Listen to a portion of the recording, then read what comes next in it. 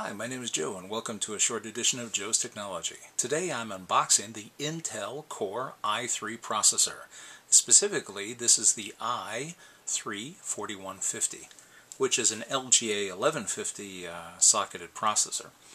These uh, processors are very, very popular right now in the uh, market, particularly for people that are putting together low-cost gaming PCs or, or, basically just inexpensive home computers in general. Um, one of the really nice things is that uh, the i3 supports hyperthreading. So although it's only a two-core processor, you're able to get basically uh, four virtual cores um, and get a lot of things done with this. Uh, Intel includes um, their own HD graphics in it, specifically the Intel HD 4400 graphics, which are built into the CPU.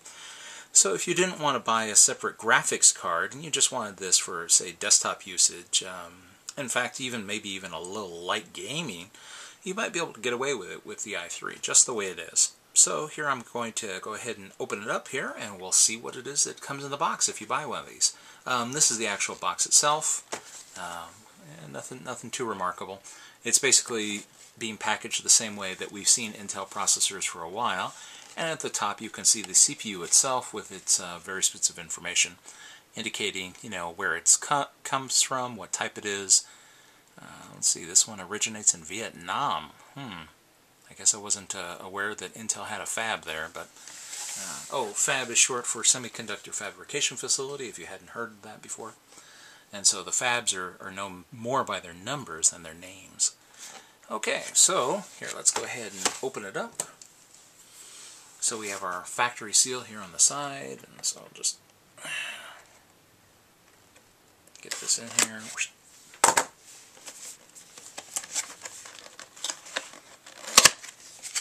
Now you may be saying to yourself, hey, if this is if this little thing here is the processor, why is this box so big? Well, as you can see, Intel helpfully includes, or unhelpfully, depending on your point of view. So here's what came out of the box. We have our, uh, well, Intel's trying to sell us on antivirus. If you run Linux, you don't have to worry. information about your Core i3 processor. Oh, for some reason that's sealed too. Now it's got uh, other bits of information. This is why the box is so big. It includes a um, heatsink. It's basically a CPU fan to dissipate the heat. These are not bad, I suppose. You know, if you're lucky and you don't tax your computer too much or you live someplace that's kind of cool, you could probably get away with using this.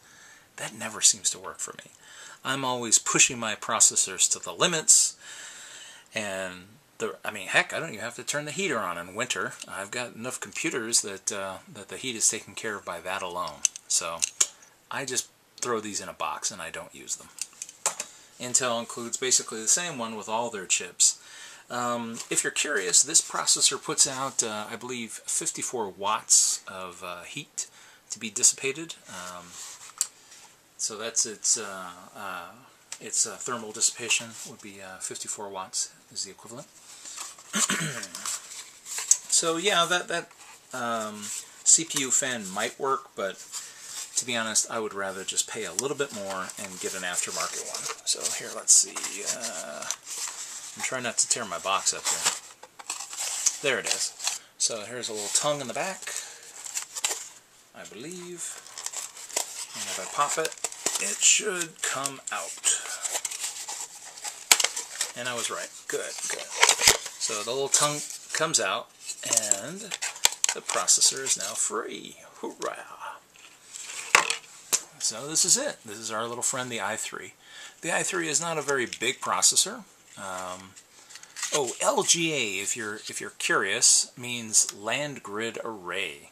Uh, in the old days, uh, Intel used to make processors that had pins uh, that would go into the motherboard. But the problem was is the pins would get bent and people get irate because here you have a very expensive chip and you put it in there and you bend one of those little pins and then you try to bend it back and the pin breaks off and now it's junk and this whole processor could be ruined simply because one pin's not working.